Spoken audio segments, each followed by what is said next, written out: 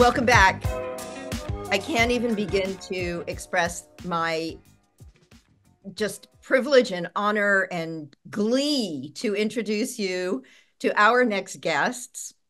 We have a story that has never been told, and we're breaking it right here. So, we're talking about something that is so near and dear to my heart that as I was sharing this with my 92 year old dad just the other day, he said, Oh, you know, Lauren, the Globetrotters are what made you love basketball.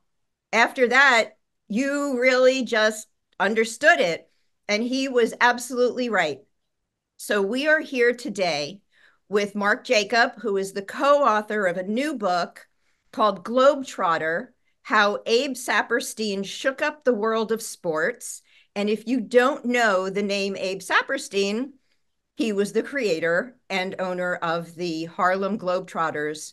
And we are going to dive into that story. But first, we're going to start by meeting his granddaughter, Abra Berkley, and Hallie Bryant, who is not only the oldest living Mr. Indiana basketball, but he is the oldest living globetrotter and he is here to share his stories with us today. So when I welcome you all from my heart, I really, really mean it. Thank you for being here.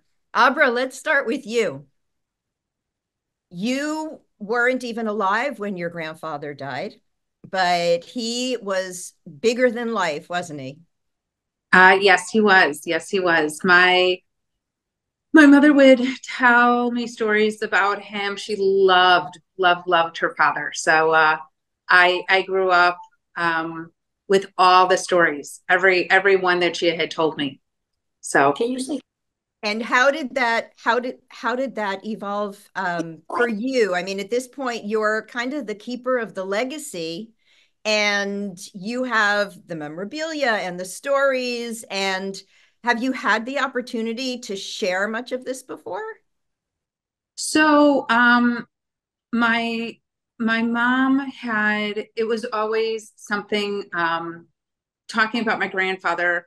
First of all, I Abra comes from the first four letters of Abraham. I was named after my grandfather, and um, and my my my my mother did so many things throughout her life to honor his name and his legacy.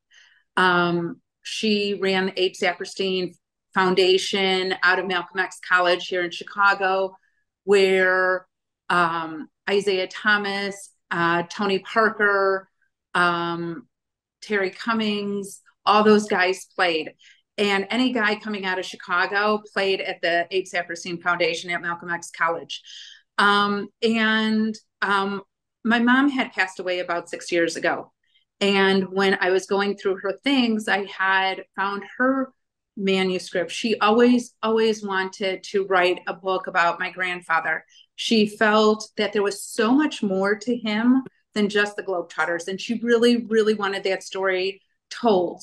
And when Mark approached me about this, um, we we had chatted a lot, a lot, a lot, and we there was there had to be a trust issue and and and mark went over my trust. And i with that and collaborating with him on that i was he he put um we found the right vessel for my mom's manuscript and he used part of it in the book for her words to get out there about her father. And so i look at this as a an fulfilling my mom's wishes and honoring her lifelong dream of getting my grandfather's story out there into the world so that people would know really all about the man. So um, this, it, you know, I, I think she would be really happy that people a hundred years later are are speaking the name of Abe Saperstein.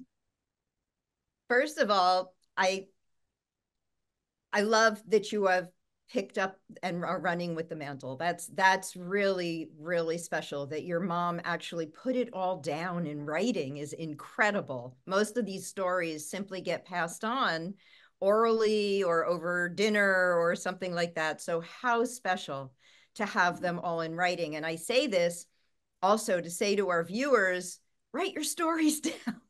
Write your stories down because a hundred years later, people are going to want to know who you were, even if it's just for friends and family.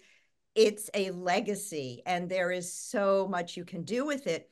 But your grandfather, two things that stood out for me, and and I have so enjoyed researching your grandfather. What an amazing human!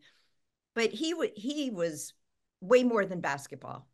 He really was after enhancing the world, like really taking on this, doing something good in the world anywhere he could. So tell us a little bit about him beyond basketball. Well, um, Mark will go into some further details, but I think one of my this is this is my grandfather's favorite story. So um, the Globetrotters in 1950 made their first trip to Europe. They had just beaten the Minneapolis Lakers and and beating George Mikan, um, who was a De- DePaul alum, and the um, the United States government asked him as ambassadors of goodwill to fly to Berlin and to fly to Berlin, Germany, as as the hand going out with the olive branch to Germany after World War II and he arrived in Berlin Stadium. 75,000 people were there. It was the largest audience to ever see a sporting event at the time. It was in Guinness Book of World Records for years. And he came in with Jesse Owens. And Jesse Owens in, in the 1936 Olympics had won the Olympics. And that's when Hitler was in power and Hitler left the stadium and refused to shake Jesse Owens' hand after winning the Olympics. So when my grandfather brought in Jesse Owens, he landed in uh, into the middle of the stadium and he made the run around the track and went to the mayor of Berlin. And the mayor of Berlin said, Hitler refused to shake your hand. Today, I give you both my hands. And that was his. That was my grandfather's favorite story. Then the Globetrotters played in the middle of this of the field, and and the whole whole crowd erupted. And every time I tell that story, it's so touching to me. And that that is who that is the pinnacle of the stories that I could tell about him of the man he was. Amazing. It it touches me every time I hear any of these stories or read any of these stories. So again, Mark, thank you for writing this book because these are stories that absolutely need to be told. I'm going to jump to you for a second, Mark, and say you act you have a long long history of this is your 10th book that you've co-authored and i understand that you've co-authored this one with your brother. Yeah my brother matthew. Amazing. And how much fun is that? Well it's funny actually matt matt lives in the washington d.c area and so just to stay close we do projects like and, and one of the reasons for doing this book was for he and i to stay close and to have something to talk about and just to do a and we both share a love of history and sports. And we both felt like that when the more we looked into it, the more we realized that Abe Saperstein was vastly underappreciated as a figure in American sports. I would absolutely agree. And so I think what you've done is tremendous. And you actually have written books on photography, baseball, basketball, history, the American Revolution. This is right. this is not just you and sports. You've also been an editor for the Chicago Tribune for many years. Right so writing and research are your life and finding these you know these stories on really uncovering the great stories so thank you so how did you come to this project Well, I ju- actually, a friend of mine suggested it. My brother and I were looking for a biography to write, and a friend of mine suggested, "Well, have you thought about Abe Saperstein?" And the more we looked into it, the more we were amazed by how much we didn't know. You know, we had all known the we both of us had known the Harlem Globetrotters angle, which you know still I think is the most important thing about Abe. But we didn't know, and hardly anyone knows that he pioneered the three-point shot in basketball. He is, you know, Caitlin Clark and Steph Curry owe a, a debt to Abe Saperstein because in 1961, when he started the American Basketball League, he brought in the, for the first time ever in a basketball league the three-point shot. And now it's transformed the game of basketball. Abe Saperstein is the father of the three-point shot, and he transformed the game of basketball that way. He also was the person who brought um, who brought Satchel Paige into the major leagues, the great pitcher after the color barrier went down. He uh, discovered Minnie Minoso, another famous bas baseball player. He helped keep the Negro Leagues in business back when they were struggling. He was co-owner of the Negro Leagues baseball team. And he also helped keep the NBA going in its early years. He saved the NBA. If yeah, it if it wasn't for the Globetrotters, the NBA wouldn't be existing right now. The Globetrotters, they played a doubleheader, and because the Globetrotters uh, uh, played first, then, then, then the stayed there to see the NBA. So he saved the whole league. So that story should be told. That story should be told. That story absolutely should be told. I there are two other stories that that I think are wrapped around this. Is number one, the Harlem Globetrotters were not from Harlem. No, they weren't. No, I mean, Chicago. You're from Chicago, Hallie, right? No, he's from Indiana. You're from Indiana. That's right. You're from Indiana. But the early players were. The early players were all from Chicago. And you know, and and so when he started it out, they the Harlem Globetrotters were not from Harlem and they were not Globetrotters. They were just, you know, five South Side kids, you know, basketball players. And Abe took him in his Model T Ford out on the road to these small towns in Iowa, Wisconsin, Michigan, and eventually made them famous. They certainly weren't Globetrotters in the early years. They were just driving around in a Model T Ford. And they, but eventually they won the world. And Hallie knows all about that. I mean, he was part of it in the later years. Yeah. The Harlem Globetrotters are known all over the world. And they call us the ambassador of the ambassador of basketball. And because people like to laugh, whenever you can do something for an audience to cause them to laugh, they, they always want to come back. That's why we sold out Mr. Spot everywhere we went. And we brought countries together, broke down the the the, uh, the barrier between black and white. That story should be told.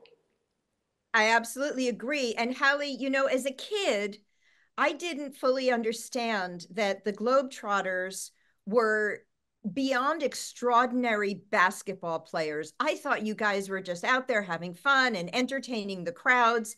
But in fact, you were playing some of the most extraordinary basketball on any court in the world. So, Hallie, you, you stayed with the team after playing for 13 years. And what did yes. you do? What did you do after playing for the team? He played for 27 years. Hallie, no, you played for 27 years, didn't you? No, I played for 13 years, but then I formed a one-man Harlem Globetrotters show and because of the name uh, Harlem Globetrotters, they allowed me, Abe Saperstein allowed me to use the uniform. So I would go into cities and promote the Globetrotters. And so I would go to hospitals and people that were shut in, and I do a one man Globetrotter show. If you go on YouTube, you'll see me. I'm a Harlem Globetrotter right there. You'll see me being interviewed by the, the, the person in charge of that particular TV program. So, he, I mean, hmm? what, what, Lauren, what he did was advanced work. So he would let right. he would let the the the the small towns know that they were coming to town, right, Hallie? Exactly. Uh-huh. So you played for 13 years and then you did your one man opening act in order to promote them. So you were doing the PR for the Globetrotters. During the off season, I, I continued to keep the Globetrotters name alive by doing that. But during the regular season, I would play, and then after playing, I go do some other stuff on the outside to let the people know that Globetrotters coming to town, and because of that, uh, we got packed houses, sold out crowds, and stuff like that. I, I believe they were always sold out crowds, weren't they? Most of the time. Mm-hmm. Yeah, yeah, unbelievable. And Hallie, what's your favorite? Do you have a favorite memory of all of this, or are there just too many? There's so many, you know, traveling around the world, uh, and then uh, becoming a wealthy person really because of them. So being independent, and, and, and I think I was probably one of the only one that Globe, Globetrotters and Saperstein allowed me to use the original uniform, which I have photographed. I still have the uniform. Do you? That's amazing. And then, Hallie, you went on to become a motivational public speaker. Yes. Why did you do that? Well, number one, well, you could make money. You know, big, big companies will call you in to speak to their their their their, their workers and everything. They wanted to be have them motivated to uh, do well and everything. So uh, that's why I did it because I enjoyed it. They would ask me questions about the Globetrotters. Do how you do how you do this? See? Then I would demonstrate some of the things that, that people. So edutaining. Edutaining. I'm, I'm, I'm an edutainer. Yes, indeed you are. Indeed you are. Mark, I'm going to come back to you. I want to I definitely want to know more about the book. And so somebody turned you were looking for a biography. You obviously found one. And what what really stood out for you as you were moving on with your work? Well, I, I, it's that I, I was we were just kept being impressed by how Abe Saperstein was just the, probably the most energetic human being that we'd ever like researched or read about. I mean, he was a dynamo. The man was constantly, constantly doing stuff. He he not only was he involved in baseball, but basketball. He managed boxers. He um, he started a lacrosse league in Chicago, if you believe it or not. He was doing minor league baseball. He was Negro Leagues baseball. He was doing um, I mean, you, you name it, and he just it seemed like he never slept. He um there's a story in the book about how the sports writer saying that Abe Saperstein called him up at 2 a.m. just to talk with him about how he didn't think his team was playing very well lately and how and how could they make them better at 2 a.m. So I mean, so it's it's like, did he ever sleep? It's like he he was 63 when he died in the mid 60s, and he packed so much into his life. It's just it's just it's amazing. I mean, you just because they didn't have a home court. The the Globetrotters were not a, ever a home team. They were always on the road, and and so it was an incredibly grueling life. Where, but the thing about Saperstein that made it so successful was what a people person he was. How he he met people all over the place. He he really, as a former journalist, I'm amused by all the stories about him. You know, uh, making friends with sports writers because he did it in ways that I don't think would be legitimate today. Like he would send boxes of apples to sports writers just to thank them, and he'd like send them, you know, jewelry and stuff. I mean, he he was he was really kind of charming sports writers, and they loved it because he was a real glib talker, and he would always give them things to write about. And so he was he so he was really beloved, and he was he was a huge person in sports for them in the middle of the last century. And I think part of the reason that he's not as well known as he should be today is because uh, you know in the 50s they started playing against a, a traveling team with them, the Washington Generals, which in effect was designed to make them play make the games entertaining, but the Globetrotters would always win the game. Wow. And so it became more of a show than a sport. And I think for that reason, some of the sports purists thought, well, it's just this is just a circus. But what they didn't understand was that Abe Saperstein had really had the fan at heart, and he was he specialized. His halftime shows were amazing and way ahead of their time.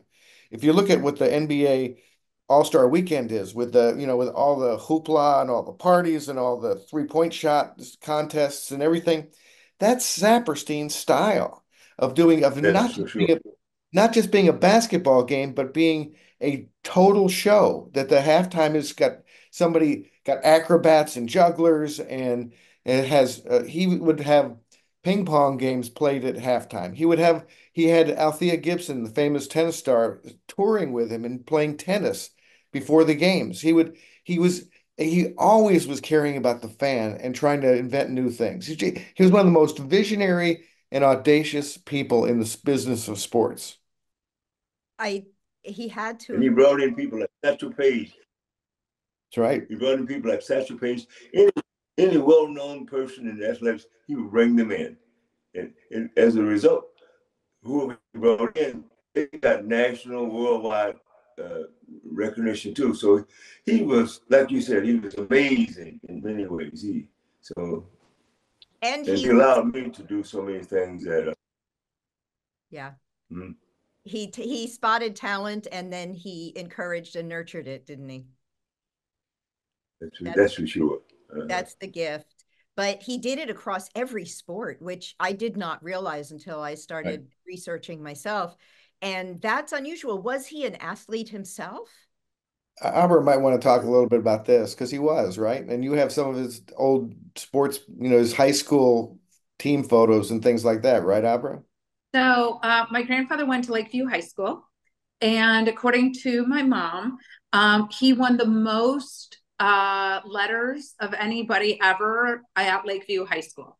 So um, he, if there was a sport, he loved it, and he always wanted to play. At a at a whopping five four, you know, height does not run in my family. Um, you know, he loved he loved his basketball, track. He played them all. So you know that was that was him Has that continued down your line? Do do your kids play sports? um well i have i my my youngest son right now is playing um hockey football rugby and wrestling. So Yeah. and he's a sophomore in high school. And my middle son played uh hockey. So yes. And, and nobody took up basketball in my family. We didn't Okay. have the height. Well, obviously, neither did your grandfather, but that did not stop him. And that's why the three point shot was so important to him when he created it, because it was his idea that the short man should be able to play the sport too. And giving giving a guy five four opportunity to score at the three point shot and not go in f- with the the seven footers Right. to to compete with them that they would have just as much of an opportunity on the floor so um that that came from from allowing everybody to have that opportunity on a basketball court which is what like mark had said where you know caitlin and steph really make a difference in the sport though they're not seven footers Right. Right. And they, I don't even know if they know to celebrate Abe Saperstein in doing all of this, but maybe we'll get a chance to ask them.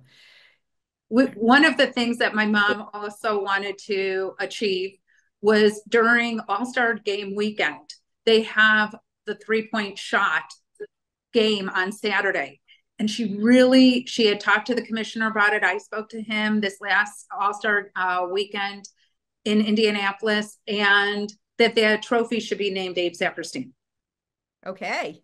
so let's we can get that going off your podcast Off the broadcast, we can do anything in conjunction with Mark's book. We're right there, Hallie. Yes, there's a, there's a song called Sweet Georgia Brown.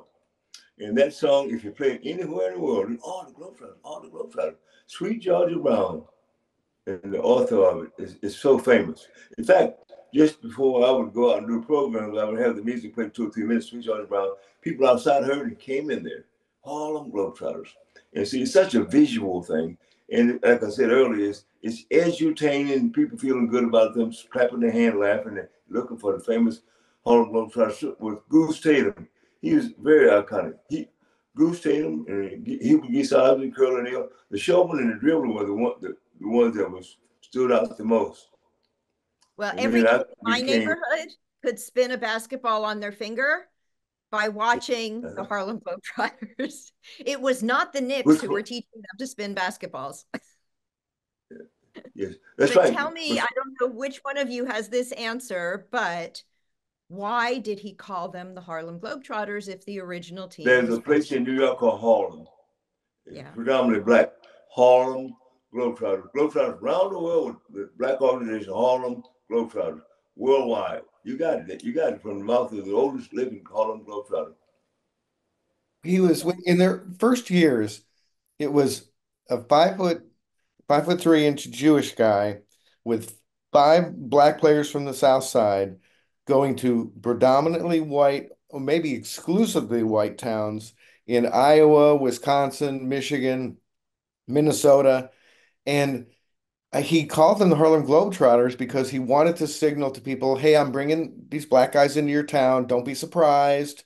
He didn't want any surprises or any you know, any unpleasantry. He wanted that to be clear. So that's why he used Harlem as a as a symbol for black people. And And and break, break, break down the racial barrier. right. And But a lot of people, a lot of people, they kind of thought like some of the black people had tails. But whatever, whatever. He, he, he would, like I said, he, he probably brought people together. Let Yeah. people see that. So he, and he doesn't get enough credit for it, but his his granddaughter, she's uh, helping people to see the real story. And we're going to help spread the word as much as we possibly can. Mark, I understand the book is available in October. well, it yeah, it's it's just getting into stores now. The official publication date is October 1st. So yeah, so it should be available available on Amazon and you know many other book selling I have my, I have my copy already. Well, all right, Hallie, you're in the book too. I mean, you know, you're quoted in it. Yeah, well, that's, that's wonderful. Keep I- hope alive. Yeah. Go ahead, Hallie. I said, keep hope alive and keep on carrying uh, things that cause people to laugh and have fun. Laughter is humor and it's good for the soul. Sweet Georgia Brown. Indeed, it is. Music, laughter, hope. You got it. Those are the things you brought to the world. And thank you all so much for sharing this amazing story, the legacy, everything that you're bringing forward. I'm so grateful. It has brought back joy into my life in a way that I, I didn't know I was missing. so thank you. We'll look for the book wherever books are sold. And if we can have a follow up with you after some time and have a bigger discussion after every, maybe we need a book club. There you go. There you Yeah. go. We'll see what we can do. Thank you all so much for joining me today. And thank, Thank you, you for having- audience. It's, it's Thank you. our Thank you pleasure. too. It's our pleasure. And we'll be